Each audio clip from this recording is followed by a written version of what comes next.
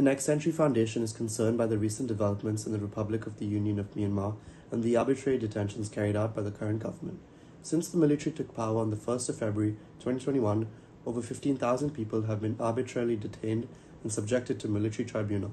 The Martial Law Order 3 2021, decreed by the military government in March 2021, states that criminal cases can be heard and decided by a military tribunal in a summary way and allows for the death penalty to be sentenced for 23 broadly defined crimes ranging from treason to terrorism.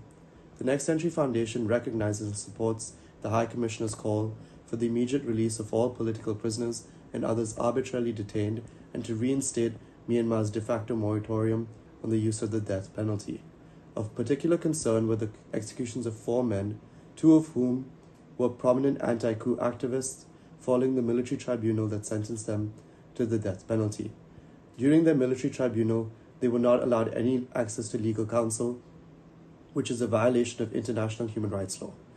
These executions were the first to occur in over 30 years, and many more are currently on death row.